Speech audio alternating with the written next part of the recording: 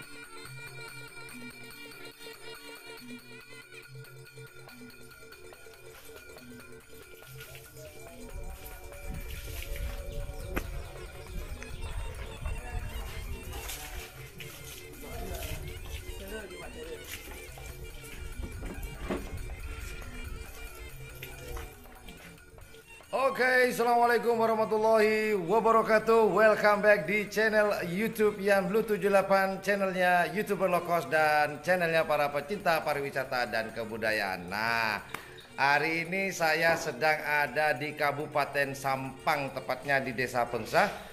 Nah, kebetulan di sini ada sebuah tim yaitu namanya timnya kalau saya tidak salah yaitu Kelabang Sakti. Nah, hari ini saya akan mengorek informasi tentang Kelabang Sakti prestasinya apa saja kemudian uh, wah apa sajalah kita akan korek kita tanya-tanyakan kepada Pak Klebun. Nah Pak Klebun. Oke Pak Ibun. Uh, apa kabar nih pada hari ini? Baik baik. Alhamdulillah. Oke Pak Ibun berkenaan dengan apa nama timnya Pak Ibun? Kelabang Sakti. Kelabang Kelabang apa Kelabang Pak Ibun? Kelabang oh namanya Kelabang Sakti. Bahasa Indonesia nya Kelabang Pak Ibun ya. Oke Pak Ibun Pak Ibun, eh, pertama Pak Ibun mulai suka dengan karapan sapi mulai tahun berapa sih Pak Ibun? Kalau boleh saya tahu? Ya kalau seingat saya masih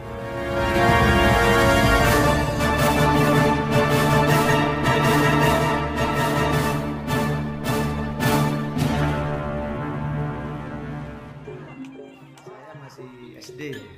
Hmm? Masih SD. Nah orang tua saya sudah jadi penerap. Udah orang tua dan kakek ya Pak Ibun ya? Ya kalau kakek itu mungkin ya dulu sapi tani yang penerap. Hmm. Kalau orang tua saya kan sudah eh, sapi dari Sepudi. Oh gitu. masih punya namanya dulu saya ingat Putra Utama sama Kantor Baru. Oh nama nama ini ya, nama timnya punyanya Pak orang tua Pak Klebun ya? Apa namanya Pak Ibun? Putra Utama sama Kantor Baru. Putra Utama dengan Kantor Baru. kantor baru Putra Utama. Nah, berbicarakan dengan Putra Utama. Putra Utama ini waktu dipegang oleh orang tua dari Bapak Klebun itu prestasinya apa aja sih Bun? Pak Bun? Ya dulu pernah juara satu saya berturut-turut. Dia piala event event apa itu Eh, lokal sama piala kawedanan di Blega. Hmm. Kemudian eh, kantor baru ya tadi yang yang kedua ya. Ya, kantor baru itu pernah juara di Torjun eh, peringkat ketiga Heeh. kawedanan. Juara tiga di Kawedanan. Iya, tapi kabupatennya ada ngirim. Kenapa Pak Bun? pelangnya sama.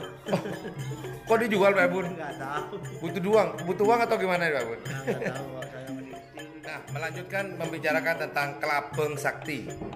Itu kenapa sih Pak Bun kok dinamakan Kelabeng Sakti? Ada sejarahnya nggak Pak Bun? Monggo Pak Bun. Bukan sejarah sih. Waktu di 2017 kebetulan saya itu punya sapi eh, di punggungnya itu ada semacam kayak apa itu? User-usernya itu panjang kayak kelabang. Oh gitu. Kata orang Madura itu namanya kelabang gentang. Kelabeng Gentang kata orang Madura Pak Bun ya. Terus saya ambil dibikin nama kelabang sakti. Nah kata-kata saktinya dari mana Pak Bun? Ya itu cuma tambahan saja itu. Nah ini Pak Bun membicarakan masalah prestasi. Prestasi dari Kelabang Sakti ini sudah sudah berapa kali Pak Bun? ya kalau prestasi sering lah Hmm? sering eh, podium di event-event semacam uh, kerap tangken ya ada orang Madura Iya gitu. ya. ya kadang-kadang sapi saya itu yang sering dipinjam pinjam orang ya kebanyakan yang masuk audio Nah tadi Pak Bun bilang kan gini, sapi saya sering dipinjem.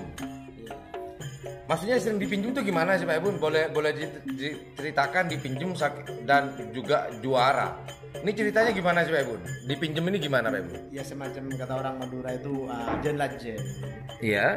jen lah jen Uh, kadang sama injektor muda gitu Hmm. Di 2018 sampai 2019 itu injektor muda yang sering Pinjem Pak Bun. ah yang sering apa itu ah, yang sering berpasangan Berpasangan ya. Berkolaborasi Pak Bun ya. kolaborasi dengan Nah. Jektor Muda. Jektor Muda itu kalau nggak salah masuk desa 10 ya. Masuk di Masuk desa 10 ya. Oh, dulu sering kolaborasi dengan Jektor Muda. 2018 sampai 19. 2000 berapa tadi, Pak? 14 2018 sampai 2019 satu tahun ya Pak Ibu. Nah dalam kurun waktu satu tahun itu prestasi apa saja Kelabang Kelabang Sakti berkolaborasi dengan Jektor Muda Pak Ibu. Apa saja eh, prestasinya Pak Ibu? dia pernah menjuarai di tingkat kawedanan Tanah Merah, Mm-mm. tembus nomor satu bawah itu. Iya Pak Ibu. Terus di Banyu Bunih, kalau tidak salah itu eh, Bapak Kades Loke itu yang punya hajatan itu. Oh tahun kemarin 2019 ya kalau nggak salah. Eh berapa? Apa? Yang dapat hadiah Nio itu. 2019 awal kalau tidak salah. Oh iya iya iya iya. iya. Oh waktu gandeng dengan Jektor Ya, Jektor Muda. juara satu. Juara satu. Terus di Piala Partai Golkar di Pamekasan itu juara tiga. Oke. Kemudian ini Pak Bun, dipinjem siapa lagi nih? Wah ini, ini, ini banyak yang pinjem ternyata ke Labang Sakti ini. Ya banyak sekali dengan Bapak Gelebun Ampet. Mm-mm. Tim apa tuh Pak Bun? Tim apa Gelebun Ampet? Tidak tahu timnya itu. Oke, Kelebun Itu Lampung. juara itu. Itu juara. Juara di Murtaci. Dengar-dengar door to door pernah pernah minjem nih katanya. Door to door bukan pernah minjem. Ya sapi saya ini yang Jektor ini ditransfer ke door to door. Oh, bukan dipinjem. Oh, sempet sempet dibeli Nah, setelah Piala Kawedanan di Tanah Merah tahun berapa nih Pak Bun? tahun 2019. 2019 dibeli oleh door to door. Nah, dibeli door to door. Nah, sekarang maaf, ini kan sapi-sapi yang ini Pak Bun ya. Yang mana Pak Bun? Oh, coba diberdirikan teman-teman. Nah, ini teman-teman. Ah. Oh, yang ini Pak Bun ya. Sempat ada di door to door, sempat ditransfer. 8 bulan. Nah, pertanyaannya Pak Bun, kenapa kok ada di sini lagi? Katanya dibeli Pak Bun ditransfer. Awalnya Ah, ah, gimana Pak? Nah, tim door to door itu uh, suka dengan sapi saya ini kan. Hmm. Waktu setiap kali ada event sapi saya ini mas, kalau di lapan itu selalu top apa namanya itu, Uh, top skor terbaik. Oh, oke Tapi oke. ya mungkin dari tim door to door itu senang dengan sapi ini. Mm-mm. Sampai sampai sapi saya ini di, di dibeli maksudnya gitu. Oh, sempat dibeli. Sama Bapak Jalal itu abahnya Bapak Wabub ya, Bapak Wabub yang sekarang ya. Bapak Tapi itu. Nah, kenapa kok ada di sini lagi sekarang Pak Bun? Ya mungkin di sana itu karena eh, apa nak gandengannya itu ndak di, di pasangannya itu ndak dibeli juga. Akhirnya ini ndak ndak apa sulit untuk mencari pasangan. Oh, gitu. Jadi ini beku sapi ini selama 8 bulan beku. Beku maksudnya Ndak pernah di tren, ndak pernah dikerap maksudnya. Karena pasangannya ndak ndak ndak jalan, ndak apa? Ndak sama gitu loh. tidak mengimbangi lah kurang lebih seperti itu. Ya, sulit. Akhirnya beku. akhirnya beku sampai sampai sapi ini kan ya yang namanya beku kan Hmm, hmm, hmm. larinya kan udah berubah gitu Oh, gitu. Akhirnya di, dibeli lagi Nah, atau sama apa itu disuruh disuruh beli lagi ke saya gitu. Hmm.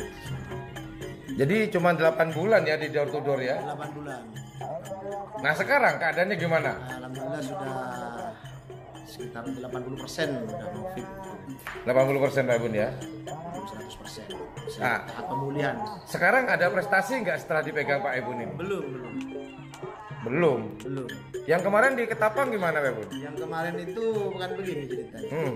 waktu menang di Kawedanan Torjun Ya. ini gandengan sapi saya ini meninggal. Hmm. Oh, gandengannya yang di belakang nih Pak Bun ya? iya meninggal Meninggal. meninggal waktu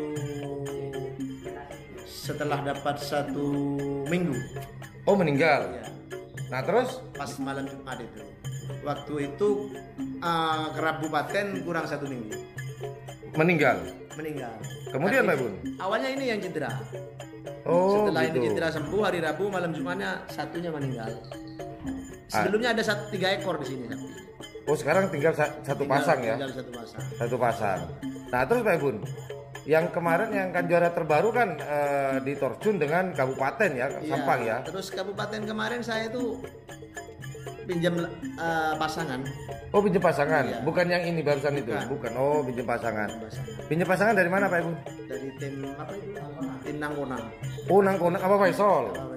Oh yang waktu di Ketapang, Iya, pemager itu. pemakernya. Sehingga juara juara bawah ya.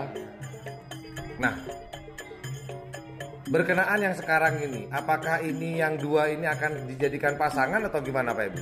Enggak, dipasang dengan tim Nangkonang. Tetap dengan, dengan na- nangkonang. Kolaborasi ini.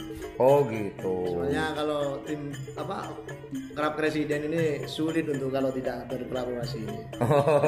harus kerjasama Pak Ibu ya. Kerjasama. Oke oke oke oke. Oke Pak Ibun, demikian obrolan saya dengan Pak Ibun. Eh, ini gelap Pak Ibun. Kita cari.